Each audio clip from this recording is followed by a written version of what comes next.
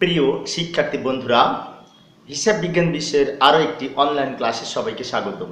আজকের আমার এই ক্লাসের আলোচ্য বিষয়, একাদশ, দ্বাদশ এবং এইচএসসি পরীক্ষার্থীদের জন্য হিসাব বিজ্ঞান দ্বিতীয় পত্র শেয়ার ইস্যু সম্পর্কিত পর্ব আট। এই পর্বে আমি শেয়ার ইস্যু সংক্রান্ত প্রাথমিক খরচ কীভাবে হিসাবভুক্ত করতে হয় তা আলোচনা করার চেষ্টা করব। আজকের আলোচনায় আছি আমি মোহাম্মদ সিরাজুল ইসলাম, বরিশাল সরকারি model school and college Barishal.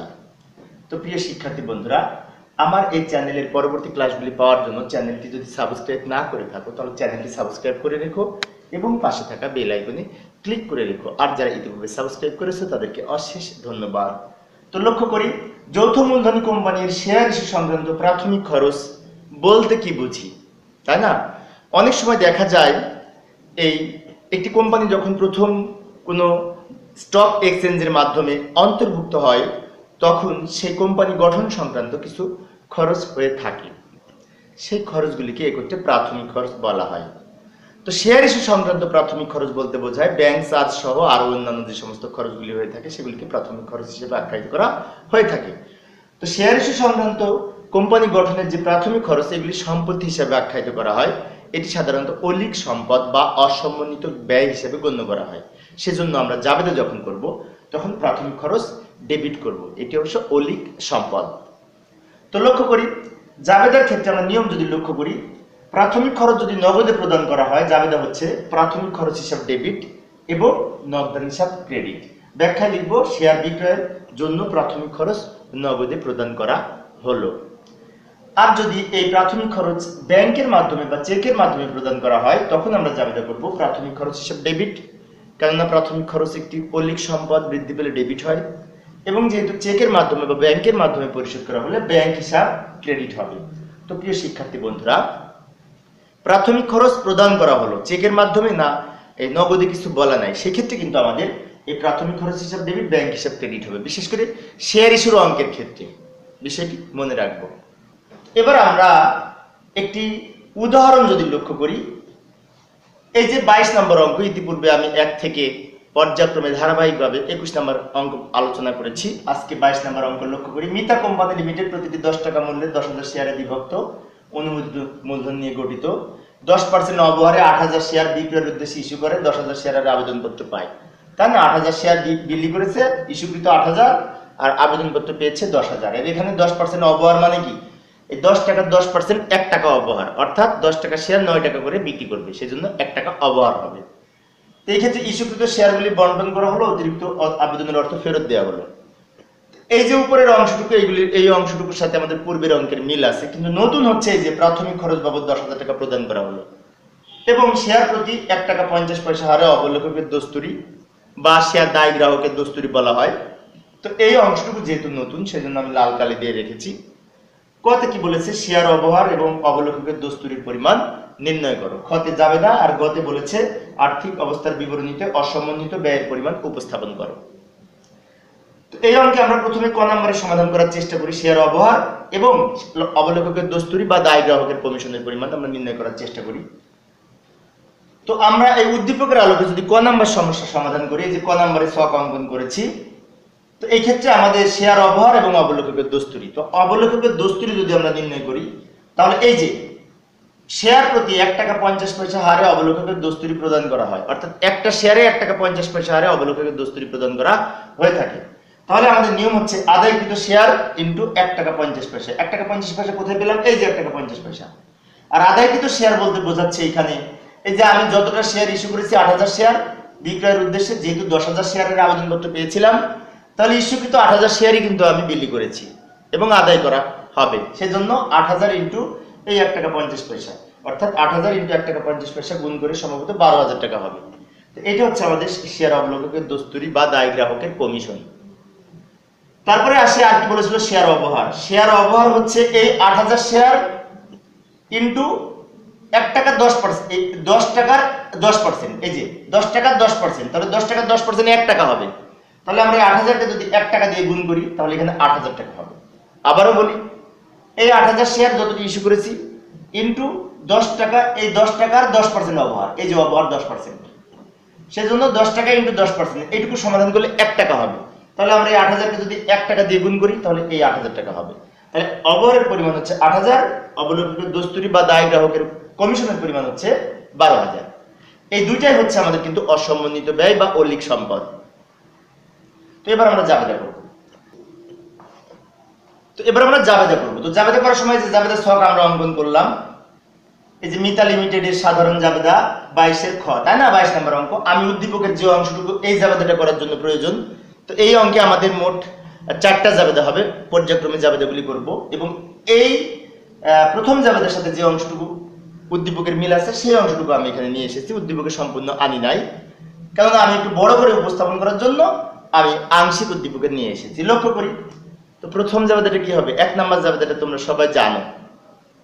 তোমরা যেটা ভাবছ সেটাই হবে। ব্যাংক হিসাব ডেবিট শেয়ার আবেদন হিসাব ক্রেডিট এটা আমরা সবাই জানি, তাই না? তো টাকা কত লিখব? টাকা হবে, যতটি শেয়ারের আবেদনপত্র পাওয়া গেল, এই যে দশ হাজার শেয়ারের আবেদনপত্র পাওয়া গেল, তাকে ইস্যু মূল্য দিয়ে গুণ করে। ইস্যু মূল্য কোনটা হবে? ইস্যু মূল্য হবে দশ টাকা থেকে দশ পার্সেন্ট এক টাকা হয়। তাহলে দশ টাকা থেকে এক- টাকা অবহার বাদ দিয়ে নয় টাকা ধরে। তাহলে আমাদের হবে এই দশ হাজার ইন্টু নয় টাকা, নব্বই হাজার টাকা। ব্যাখ্যায় লিখব, প্রতিটি নয় টাকা দরে দশ হাজার শেয়ার আবেদনের অর্থ পাওয়া গেল।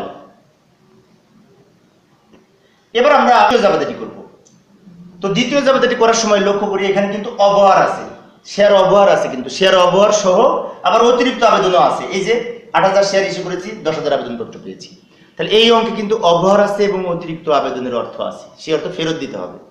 সেজন্য আমরা জাবেদা করার সময় লিখব, শেয়ার আবেদন হিসাব ডেবিট প্রথম জাবেদায় যে টাকা লিখেছিলাম, সেই টাকাটি লিখব নব্বই হাজার টাকা। শেয়ার অবহার হিসাব ডেবিট এবং ক্রেডিটে হবে শেয়ার মূলধন হিসাব এবং শেয়ার ব্যাংক হিসাব। আমি আবারও বলি, বিশেষ করে ছয় নাম্বার ক্লাসে আমি এই অবহার সংক্রান্ত অঙ্ক বিস্তারিত আলোচনা করেছি তারপরে আবার বলছি। তো অবহারের সাথে যদি অতিরিক্ত আবেদনের অর্থ থাকে, তাহলে আমরা জাবেদা করব শেয়ার আবেদন ডেবিট এবং অবহার ডেবিট তারপরে মূলধন ক্রেডিট তো হবেই মূলধন স্থানান্তরের জন্য। আর অতিরিক্ত আবেদনের অর্থ ফেরত দেওয়ার জন্য ব্যাংক হিসাব ক্রেডিট হবে। এবার টাকা কীভাবে লিখব?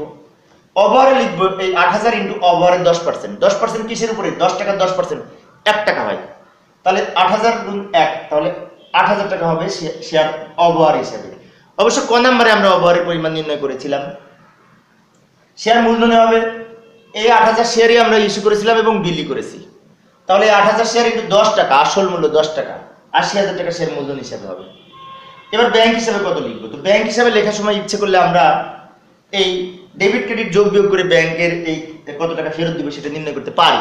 লক্ষ্য করি, নব্বই হাজার আর আট হাজার, কত? আটানব্বই হাজার। তাহলে আমরা জানি যাবে যাবে দ্বারা ডেবিটের আইটেম ক্রেডিটের আইটেম সমান সমান হবে। তাহলে সমান করতে হলে আমাদের এখানে কত টাকা লাগবে? এখানে নব্বই হাজার আর আট হাজার, আটানব্বই হাজার থেকে আশি হাজার বিয়োগ করে আঠারো হাজার টাকা হবে। আঠারো হাজার টাকা হবে। আর আমরা যদি অন্যভাবে বের করতে চাই পারব সমস্যা নেই। আট হাজার শেয়ার ইস্যু করেছিলাম, দশ হাজার পেয়েছি। কত শেয়ার বেশি পেয়েছি? দুই হাজার শেয়ার বেশি পেয়েছি। দুই হাজার শেয়ার বেশি পেয়েছি। সে দুই হাজার শেয়ার ইন্টু নয় টাকা। কেননা অবহার বাদে নয় টাকা করে আমরা বিলি করেছি। তাহলে দুই হাজার শেয়ার যে বিলি করেছিলাম, নয় টাকা করে পেয়েছিলাম, দুই হাজার ইন্টু নয় টাকা, এই আঠারো হাজার টাকা হবে, যেটি ব্যাংক হিসেবে ক্রেডিট দিকে লিখেছি। কারণ ফেরত দিলে ব্যাংকে টাকা কমে যায়। ব্যাখ্যায় লিখব শেয়ার আবেদনের অর্থ শেয়ার মূলধন এবং অবহার হিসাবে স্থানান্তর করা হলো এবং অতিরিক্ত আঠারো হাজার টাকা ফেরত দেওয়া হলো। এইভাবে আমরা ব্যাখ্যায় লিখতে পারি। তো প্রিয় শিক্ষার্থী বন্ধুরা, এই অঙ্কে অবশ্য আমি বলেছিলাম যে চারটা জাবেদা হবে। কেননা আমাদের এই যে, এই এই শেয়ার অবলোককের দস্তুরি আছে, প্রাথমিক খরচ আছে, এই দুটো নিয়েও আমরা একটা জাবেদা করতে পারি, আবার আলাদা আলাদাও করতে পারি। তো সহজে বোঝার জন্য আমরা আলাদা আলাদা জাবেদা করি, সমস্যা নেই। এবার আমরা এই যে এক টাকা পঞ্চাশ পয়সা হারে আট হাজারকে গুণ করে আমাদের বারো হাজার টাকাকে অবলেখকের দস্তুরি বা দায় গ্রাহকের কমিশন হবে, সেই কমিশন নিয়ে আমরা জাবেদা করব। তো অবলেখকের দস্তুরি বা দায় গ্রাহকের কমিশন একটি অলিক সম্পদ সম্পদ বৃদ্ধি পেলে ডেবিট হয়। সেজন্য আমরা জাবেদা লিখব অবলেখকের দস্তুরি হিসাব ডেবিট টাকা লিখব এই বারো হাজার টাকা এবং ব্যাংক হিসাব ক্রেডিট টাকা লিখব বারো হাজার টাকা। বারো হাজার টাকা কীভাবে হলো? এই আট হাজার শেয়ার ইস্যু করেছিলাম, আট হাজার শেয়ারই বিলি করেছি। এই আট হাজার ইন্টু এক টাকা পঞ্চাশ পয়সা। গুণ করলে আমাদের এই বারো হাজার টাকা হবে। ব্যাখ্যায় লিখব শেয়ার অবলোককের দস্তুরি বাবদ পরিশোধ করা হলো পরিশোধ করা হলো মানে কি? এটি কিছু বলা না থাকলে চেক মারফত পরিশোধ বা ব্যাংকের মাধ্যমে পরিশোধ মনে করতে হবে, এই শেয়ার ইস্যুর অঙ্কের ক্ষেত্রে।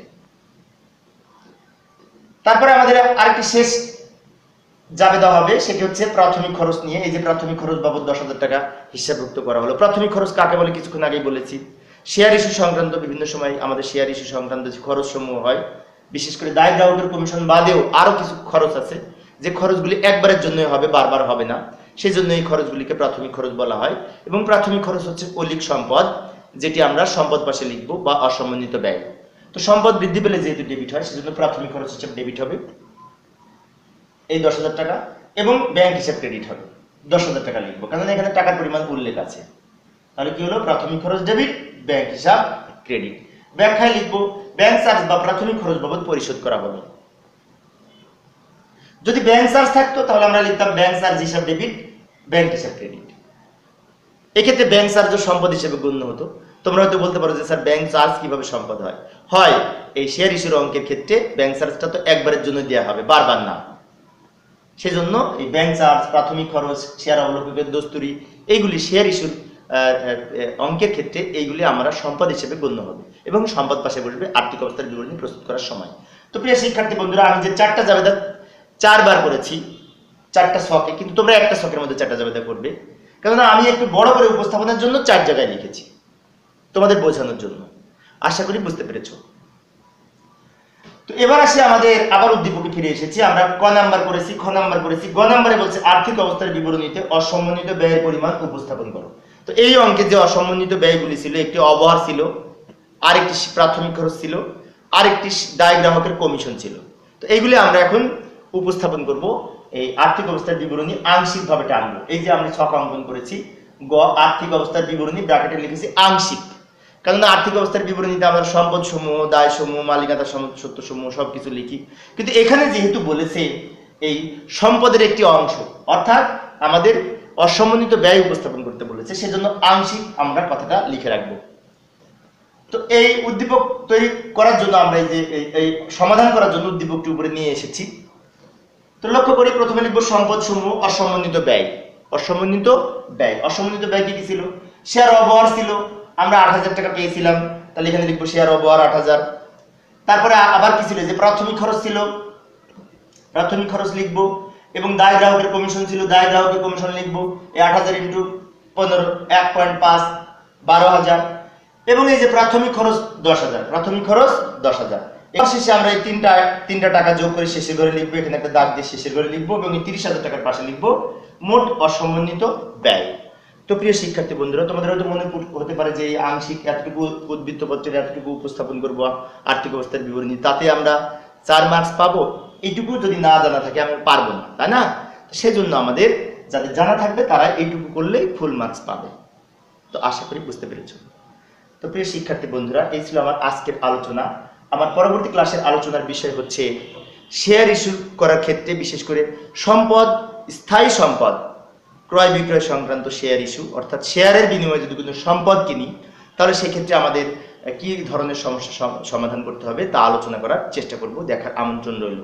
পরিশেষে আমার এই ক্লাসটি যদি তোমাদের উপকারে আসে এবং ভালো লাগে তাহলে প্লিজ আমার এই ভিডিওটিতে লাইক দিবে শেয়ার করবে এবং আমার এই চ্যানেলের পরবর্তী ক্লাসগুলি পাওয়ার জন্য চ্যানেলটি সাবস্ক্রাইব করে রাখবে। পরবর্তীতে আরও নতুন নতুন শিক্ষামূলক ভিডিও আনার প্রত্যাশা নিয়ে আজকের মতো বিদায় নিচ্ছি। সবাই ভালো থাকবে এবং সুস্থ থাকবে। খোদা হাফেজ।